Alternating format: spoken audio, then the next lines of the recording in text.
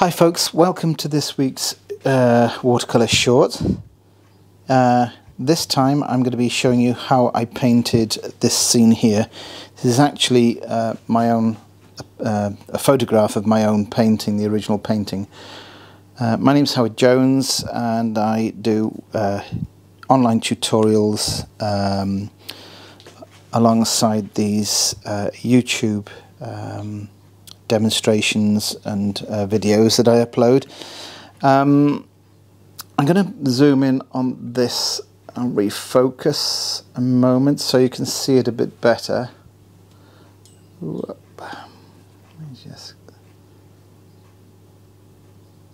There. Um, so uh, originally worked from a photograph. The photograph probably had these boats in a slightly different uh, arrangement. Uh, so I sort of put this arrangement together uh, as I thought it made a, a, a, a better balanced scene. Um, but I'm going to show you, because these are short, and I try to keep these Tuesday um, demonstrations videos as short as possible. Um, so I'm going to demonstrate at least one of these little boats. If this, if I feel this time, I'll, I'll, I'll put another boat in. So um, this is what I'm aiming for. Um, so um, make yourselves comfortable and uh, I'll get on with the job. So I'm going to try to keep this, there's a slight gradient on the beach here, very subtle, but the sea was over to the right and the beach just sloped down ever so slightly.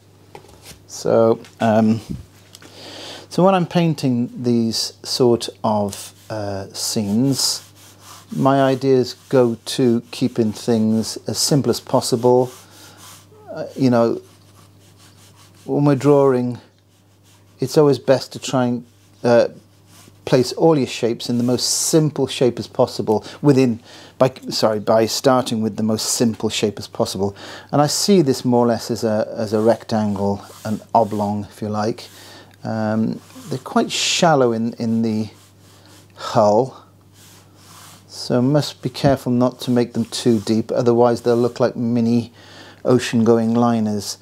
It's very important if you're putting a slight angle on a boat when you're viewing it from the side like this, that the mast that comes out of the deck must be perpendicular to the boat, not to the land. So if the if, if you could flatten the ground out here, it would be uh, you'd see a slight it would make this angle here slightly diagonal on the bottom of the boat because it's not parallel to the flat level. So the mast has to be um, perpendicular to the to the boat, not to the not to the ground that the boat's on, or not to the flat that the that of the of the land. So I think it's about there. So it's just off off the perfect vertical. I think that would be perfect vertical, and we're looking at a mast that does that, a slight shift to the right like that. It's very important that, otherwise it's going to look really, really wrong. Um, when it comes to the rigging that we can place in here and the paraphernalia that, that adorns these these ropes and masts and things, that that's just um, that we'll leave that open to sort of interpretation if you like. So I'll pencil in a second boat. Whether we get to paint it or not, I don't know. We'll say it's a little bit further down the beach there like that. Of course, three objects would always look better than two. So, um, you know, just bear that in mind. I'm just keeping it simple for the sake of getting through the timer um, of the demonstration, the time of the dem demonstration. So, Right, um, it might seem an odd thing to do, but I'm going to start with some detail. And I've got a very good pointed nylon brush here. Ultramarine blue and burnt sienna. And uh, I'll just make room for a little buoy, buoy here, one of those things that they use like sort of on the fenders. Obviously when they're mooring up it protects the uh, gunnel of the boat. So this is a very dry brush technique here. Paint is very dry. And with these hard surfaces, this is what we get. We get this sort of effect of hard reflective surfaces by uh, keeping the paint mix very dry. So just making sure I've got plenty of paint on there because I, I have a method by where I use that paint and also along the bottom here same sort of delivery sometimes a bit the, the paint's a little bit wetter there's a bit more water in it than other times but it's very important to for this delivery to be a sort of hit and miss on the surface of the paper. I'm using not surface, so it has got a, a texture. Um, I don't like using, for the loose style, I don't like using smooth paper, the hot pressed. It's either, I, I prefer this not, N-O-T, or uh, rough. Rough is also great paper, sometimes for I like the rough surface papers for landscapes in particular. Um, so, so I'm just really putting in rough ideas of where these sort of blocks and tackle that we see adorning these little vessels. So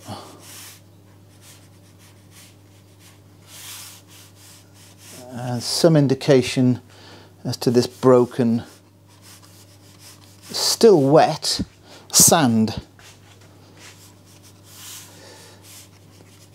Like this.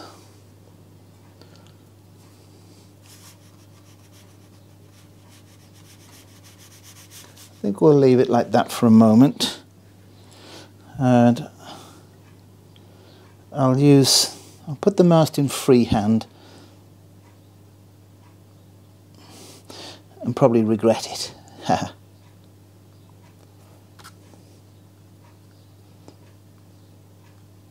now, I've got to put a wash over this sky, so really I, am going to lose some of this stuff. But we'll, um, we'll let that dry off for a moment.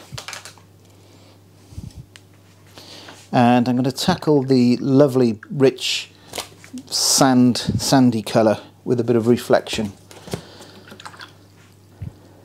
So I'll pick up the big mount, uh, sorry, uh, what is this brush called? It's called a mop brush, sorry. And there's a colour missing here, so I'm going to just pick up some light red, Winsor & Newton light red. And I'm going to really swamp out this foreground. But I'm going to work from the bottom up. And that, what that allows me to do is um, create the drier brush marks when we get nearer to the boat.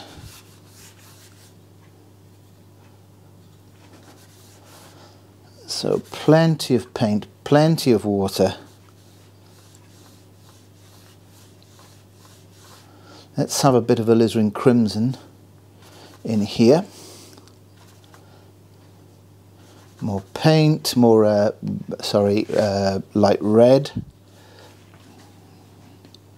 Now this is where I need to control the amount of water that we've got. So I'm going to take the brush over to my water tub and squeeze a lot of that paint out. I'm, of course, when I'm doing that, I'm, I'm squeezing out not just the, the paint, I'm squeezing out the water as well. So just be able to, that allows us to make this lovely broken delivery here. I can always take more of those colours up, which I'm going to do. But I'm going to be very careful not to um, not to obliterate this lovely sparkling area.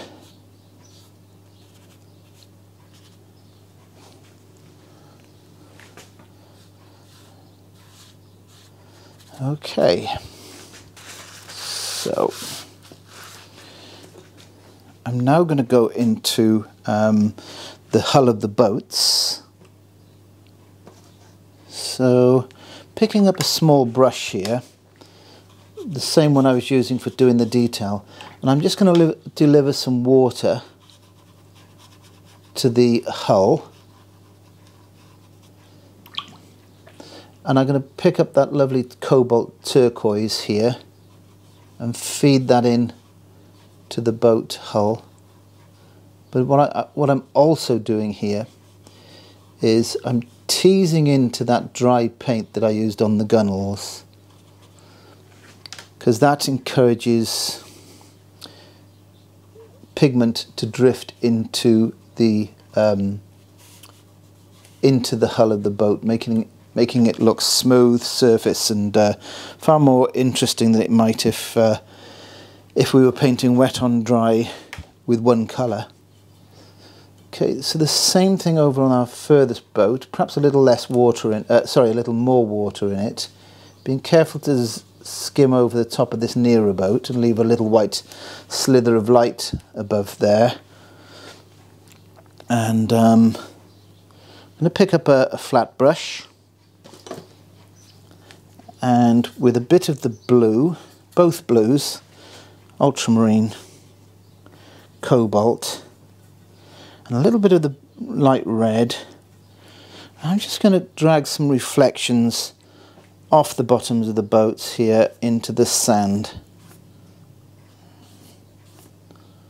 Like this.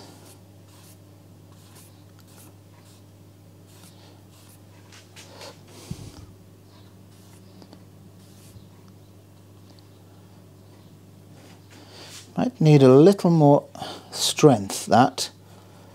So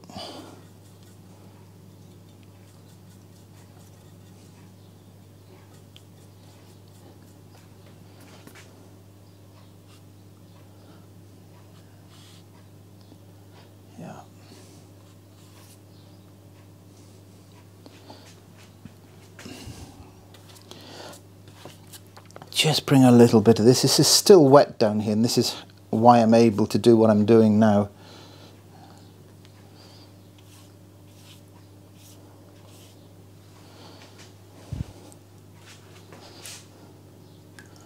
So it's a little bit harsh, the division between those two reflections. So I'm just going to soften through a little bit.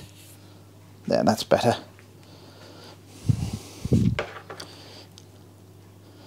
And now before I do much else, I'm just going to put a, a, a cool sort of wash. I think we'll just offer up a little bit of warmth in the sky before I do that. Perhaps about here, just some warmth. I need to get straight back in now with the colour that I want to use in the sky. So I'm cleaning the brush very quickly, picking up some ultramarine blue and going over, sort of being careful-ish not to paint into my mast, but I can repaint it, that's the thing.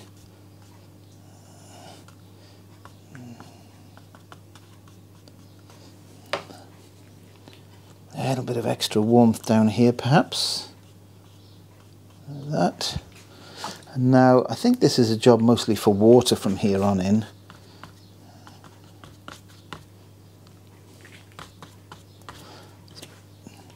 I like to sort of pull my skies up like this in certain situations. This is one of them.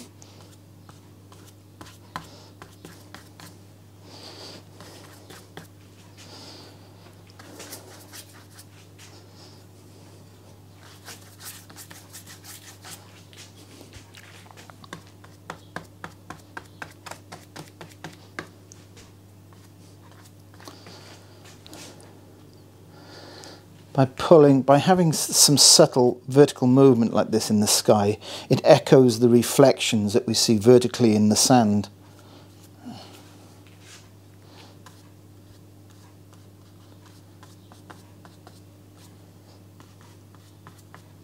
So I'm just staying out of the tops of the little boats, leaving some white paper there. And I'm going to pop a little bit of um, orangey like colour. So I'm mixing up a bit of ultra, uh, sorry, a bit of um, alizarin crimson with the light red. In fact, I'm going to just bring in a little bit of scarlet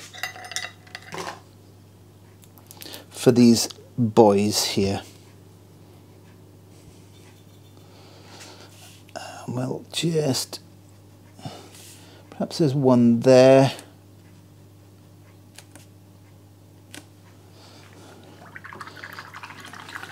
I'm going to speed dry this.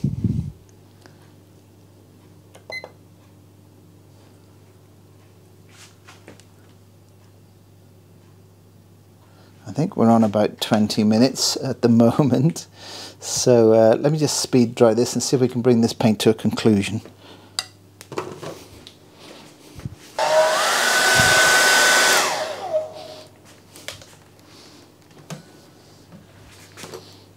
Think I can finish this now with not too much detail. Small brush with a good point. The ultramarine blue burnt sienna uh, so a couple of extra little details, the sort of paraphernalia that we'd expect to find around on these little vessels. A little slightly darker area under the um, underneath the buoy.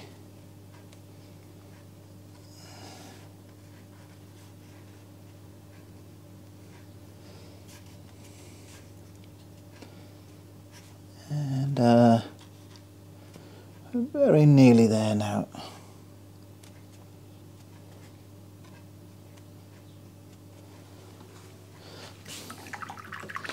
Turn my attention to a bit of white gouache for a moment. I'll just add a little bit of white gouache to the uh, top of these little boys. buoys paling them off a little bit on that illuminated side where, where they're catching. These are sort of made of nylon I believe so like a plastic nylon. And they uh, they have hard surfaces so they certainly reflect the light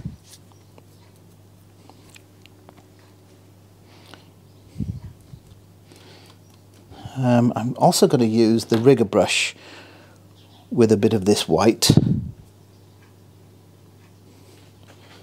I can imagine some ropes coming down off the side of this little boat here. Perhaps mooring ropes, perhaps something catching the light.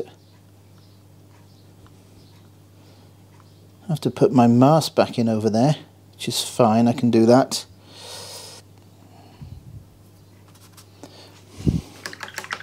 So let's get back, stick with the rigger brush but change the paint. So I'm just picking up again a little mix of uh, ultramarine blue and burnt sienna.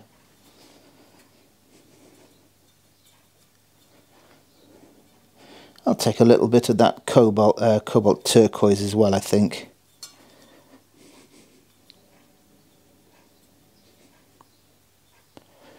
Now, so a little bit more of this information here. Hold my breath. Put the mast in for that chap over there.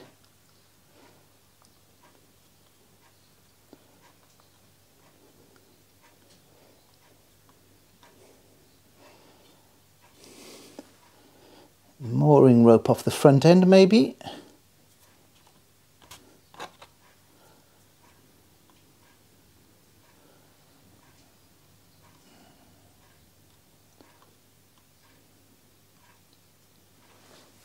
And I think that's where we will leave it.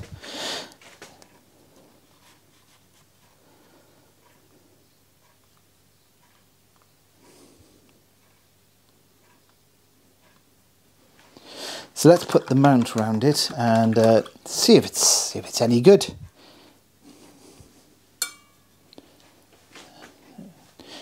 I'm just thinking of a little hint of a reflection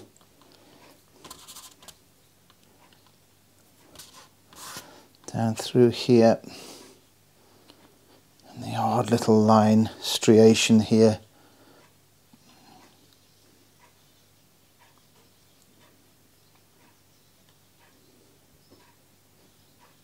There we are. Right. I really must leave it be.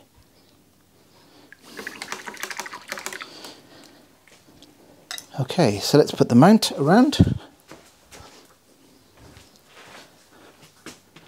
And there is a, a more recent version of something I painted years ago.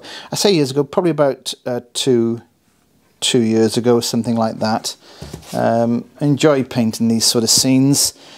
Um, originally, it was from a photograph, and um, I've lost the photograph. I think I've it's on an old computer somewhere, and uh, it was nice to revisit sometimes these things that we've done in the past.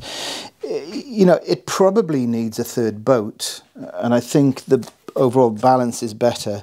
But uh, I wanted to keep this um, watercolour short, as the name implies, as short as possible. Uh, so I hope you've enjoyed this one, folks. Um, please remember to subscribe and to uh, perhaps hit the uh, bell icon if you want indication as to when I upload uh, my new videos each time, each week. And um, even better, if you could actually uh, share, there's a little sort of symbol icon at the bottom of the screen, I believe. Um, you can share my videos, pass them on to friends and colleagues, etc. Um, thanks for watching. See you at the next one.